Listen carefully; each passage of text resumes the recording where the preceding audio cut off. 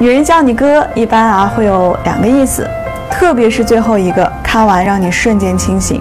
第一，女人想要谋财。如果有女人主动跟你拉关系，在生活当中啊有规律的联系你，叫你哥呀，就是每次联系的标配。当你单方面觉得亲密无间的时候，女人啊就会暴露原始的动机，让你发红包的借口会接踵而至。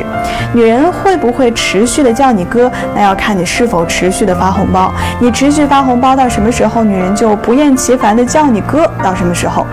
第二啊，就是女人想要培养以备不时之需的劳动力。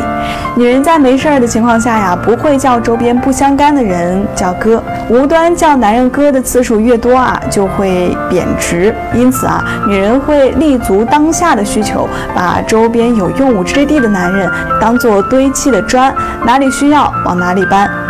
女人叫男人哥呀，不是在事前精神层面的鼓励，而是在事后精神层面的犒赏。女人会算计男人当下阶段的价值的大小，或者是未来潜力的大小，用不同的口吻以及不同的频率的歌，激发出男人的奋进，进而让男人心甘情愿的去充当免费的劳动力。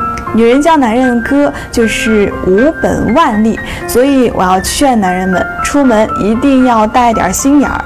男人吃亏就吃亏在没有领会到女人的真实意图，不是时而误入歧途，就是时而偏离正确的方向。